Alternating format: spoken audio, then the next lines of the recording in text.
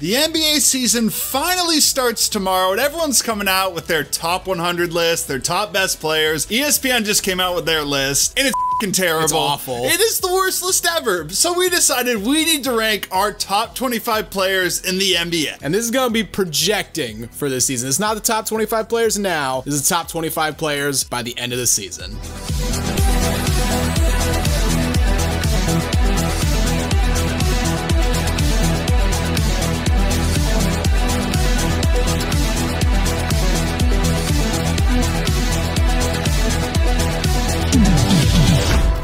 Before we rank the top 25 players in the NBA, please give the video a like, subscribe to the channel, and hit the notification bell so you never miss out on any new videos.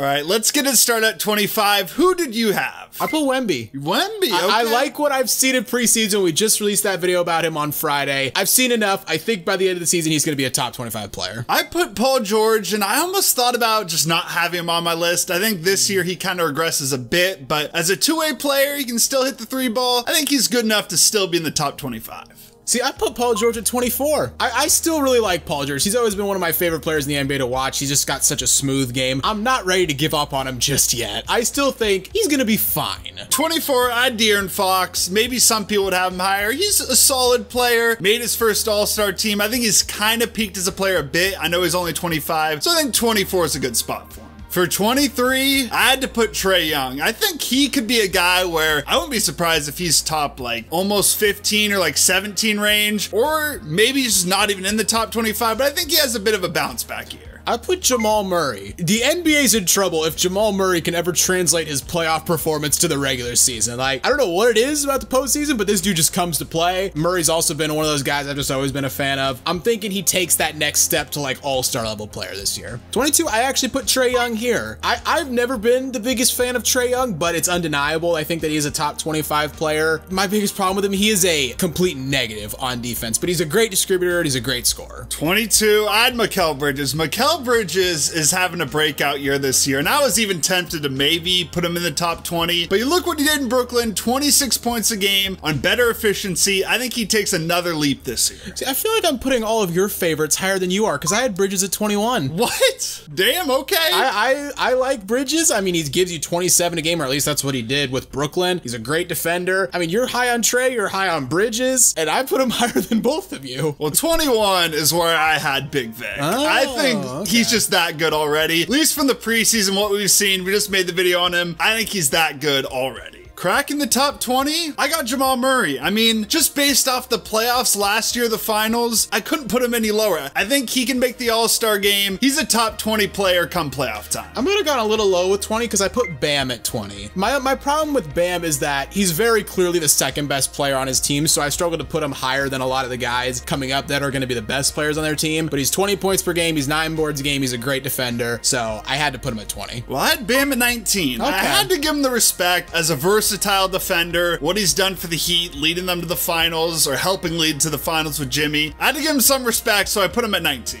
19, I put Donovan Mitchell. Look, again, Mitchell's a guy I've always really liked. I love watching him play, but he has to drop a couple spots down because of that series loss to the Knicks. Like, if you look at the teams on paper, I think the Cavs are clearly better. Mitchell did not play very well in the playoffs. He's a great scorer, but I'd love to see him diversify his game a little bit from being just a pure scorer. Yeah, I put Mitchell at 18. I agree with everything you just said. You got to criticize him a bit for that playoff loss. He's a tough player to grade. He's a great scorer, but That's kind of all he is. yeah, I don't think you can have him any higher. 18, I had De'Aaron Fox. I love the Kings. I'm so happy the Kings are finally having success. That fan base waited for almost two decades to see a team that actually is going to be a contender. I'm really hoping Fox can take another step, get them to the conference semifinals, maybe even the conference finals. 17, I put Ja at 17. Now, he takes a huge hit because he's going to miss 25 games. Even still, though, I've never been super high on Ja. I'm not in love with his game. To me, he's, you know, another player, Derrick Rose. He's not a great jump shooter. He's incredible to watch. He's incredible to watch. But the fact that he's going to miss 25 games, you have to worry about off the court stuff with him. So, you know, maybe he'll prove me wrong. But I mean, I said in our predicting every team in three words video, I didn't think the Grizzlies are going to make the playoffs. So I can't put him higher than 17. I had him at 17 as well. Oh, I feel okay. like that's a perfect spot. As a scorer, he can still take over games. We saw that in the playoffs against the Lakers, but he's not really great on the defensive end. He doesn't have a great jump shot, like you said. So I think that's a good spot. At least we didn't put him at like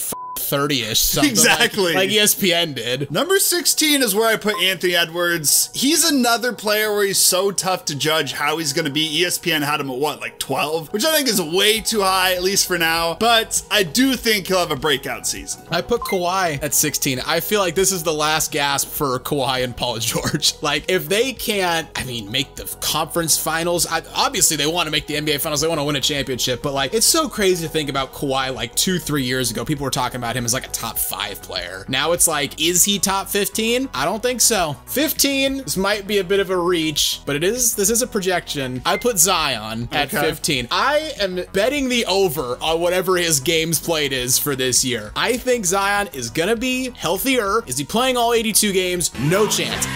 Is he playing 75? Probably not. Is he gonna hit the 65 game minimum? I don't think so. But I think he's playing 50 to 60 games. I think he gives you 28 points per game, seven boards a game, and I think he's leading the Pelicans back to the playoffs. I had Zion at 15 as well, and I think when he's fully healthy, he's out there balling out. He's borderline top 10. That not always happening. I was gonna say that's the problem. that is the problem, but when he's out there doing it, he's around the top 10, so I thought 15 is a good spot. 14 is where I put Kawhi. When Kawhi, another guy, when he's fully healthy, when he's out there, he's elite. I mean, we saw what it was like the one game in the playoffs he balled out. So when he's out there doing his thing, again, another borderline top 10 guy, but again, it just really doesn't happen that often. I put Anthony Edwards at 14. I didn't quite put him at 12 like ESPN did, but I'm high on Anthony Edwards. He played really well with Team USA. I was really impressed watching play there. I feel like the Timberwolves are finally going to realize like it's not Gobert's team, it's not KAT's team. This is Anthony Edwards' team. They're going to give him the green light. I think he averages 30 this year. Also, I just recently watched him in that one Netflix movie with Adam Sandler, and he was quite good in that movie. So Okay. I'm giving him a little extra props for that. 13, I had AD. Now, there's so many dudes on this list like, well, when they're healthy, they're great. And AD, when he's healthy, is phenomenal. Sometimes. There are also those games where he's healthy where he just plays like ass. So, my problem with AD, he's great occasionally. He's just not consistent enough. So, I mean, I've seen people putting him like in the top 10. I can't go quite that high for someone where I don't know, even when they are healthy, if they're going to give me a consistent effort. Yeah, I agree. I had AD at 13 as well. And again, he had that stretch last year where he was just dominant. and He was the best like- player in the world. Yeah, he was a top five player, best player in the world, maybe. And then the playoffs, he was still probably the best defensive player in the playoffs. But it was like every other game, he'd have a great game, then he'd have an awful game. The consistency is just not there. Number 12 is where I had Shai, and I don't want to hate on him, but Yeah, you do. a little bit. He- the problem is, it's not his fault, but he's the most overrated player in the league right now. ESPN had him at eight. I think that's insane. He's obviously super efficient. He's a great scorer. He's better on defense than a lot of the guards up on this list, but I just can't put him any higher this point. He hasn't even been in the playoffs yet. I put Dame at 12. I think Dame this year is going to be the best number two in the league by a long shot. I think playing with Giannis not only is going to do wonders for Giannis, I think it's going to do wonders for Dame. But again, I kind of had this problem where I can't put Dame, as much as I love him, higher than guys that I think are going to be the best player on their team. Actually, looking at my list now, I say that I put Devin Booker at 11. Hmm. you know what? We'll swap those two. Books at 12, Dame's at 11. How about Okay, fine. For 11, that's where I put Dame. Okay. Yeah, I mean. Dame, he's coming off the best season of his career, even though the Blazers didn't make the playoffs and didn't really end up leading to anything, but he was still absolutely insane. Some of the games he put up, the 71, ridiculous. I think with Giannis now, actually playing with another superstar is going to make his life just so much easier. I was going to say, we were trash, but it wasn't his fault. Right. Now cracking the top 10, we got Jimmy Butler. Jimmy Butler, another guy so hard to place because you look at his stats and you're like, eh, that's not really impressive at all. But then the dude somehow keeps going to the finals. So you got to give him his credit. I think 10's a good spot. I couldn't put him any higher, but Jimmy cracks the top 10. 10. Couldn't agree with you more. He's also number 10 for me. I, yeah, the stats aren't there, but you can't deny it. He makes the finals. Even when he doesn't make the finals, generally he goes past the first round, sometimes to the conference finals. He shows out big time in the playoffs. So Jimmy, gotta put him at 10. Number nine, this one's probably gonna be the big shocker, is Luka Doncic. Whoa! I am a big time Luka hater. Look, is he a great player? Yes. Is he great to watch on offense? Yes. Does he have great stats? Absolutely. I need his team to play better. And I, I, get that his team isn't great, but if you're a top 10 player in the world, I need you to make the playoffs. And you said that they're not making the playoffs. So, I mean, I, I'm not quite there, but the way they finished last year to me, when you have Luka and then Kyrie Irving, and I get they don't work supremely well together, but when you got those two guys, you at the very least need to make the playoffs or the play in. At number nine, I had LeBron James, and this one hurts. Oh. Because I hope I'm wrong. I hope LeBron's somehow the best player in the league. But at this point, you got to rank him a little bit lower. Maybe he gets that foot healed and everything's fine. But for now, I got him at nine. Okay. At my number eight spot, I put Kevin Durant. Ooh. Kevin Durant, you know, he could be higher up. He's coming off one of the most efficient seasons of his career. But I think Kevin Durant is actually going to be the number two this year in Phoenix. Really? I think it's Devin Whoa. Booker's team. Whoa. We saw that in the playoffs. Devin Booker was the number one guy. So I think KD is going to take the back seat. and He's going to be the number two. See, you said ESPN was crazy for putting Shai at number eight, but I also put him at number of eight. Of course.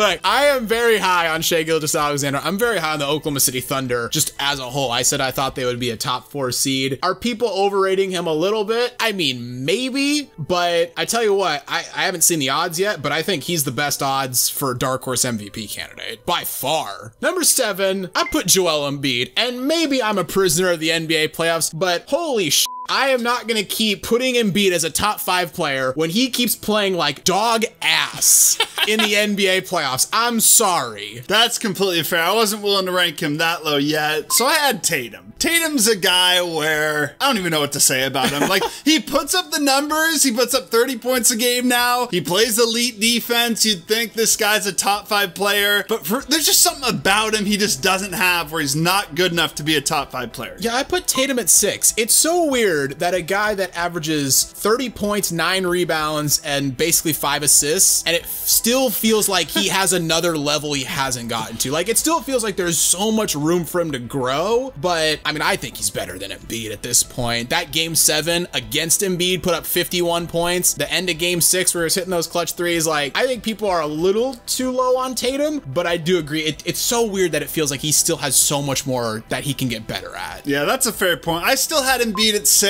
because, I don't know, he was still the MVP. You look at the regular season stats, he's putting up 33 points a game. One of the better interior defenders in the league, too, so I couldn't rank him any lower. But then you look at the playoff stats, he's putting up like 23 points a game. He needs to do something in the playoffs this year, but I couldn't quite rank him any lower coming off that MVP season.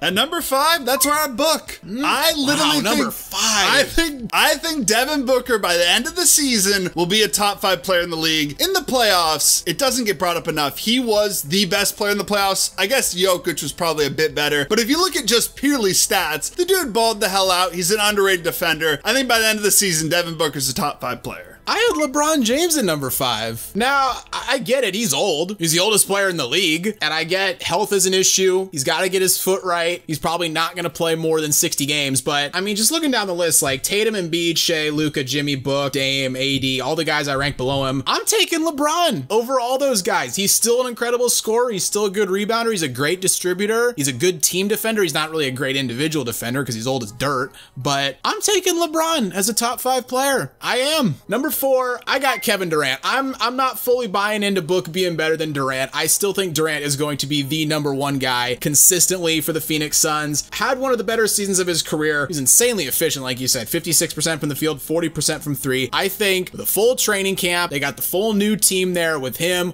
with Book, with Beal. I think Durant is gonna have another great year. I don't think they're gonna win the title, but I think Durant is gonna be the number one guy for the Phoenix Suns. Number four, I got Luka, and like you said earlier, I don't have them making the playoffs, so this is kind of weird. Like where I put Luka in there, you should expect a top four player makes the playoffs, but I also think the West is that stacked. Luka, I mean, just offensively, the load he carries, everything he can do, he can distribute, shoot, get to the bucket, get to the line. I think he's a top four player, and if they are a good team, watch out for an MVP run this year. Number three, and I think we're going to have the same top three from here on out. I think so. Steph Curry. I mean, he's the only player outside of the top two that I think you can make a case for the best player in the league still. His shooting ability, and I'm super excited to see him play more off ball with Chris Paul this year. That opens him up a lot. He is getting a bit older, but for now, I think I have to have him at number three. Yeah, I still got Steph too. I mean, he's he's still a threat the second he walks over half court. You have to know exactly where he is at all time. I think his roster is really going to hurt him. Like, how good is a guy like Clay still at this point? How good is Draymond? How will Chris Paul fit? They're all very old, as you would know if you watched our predicting every team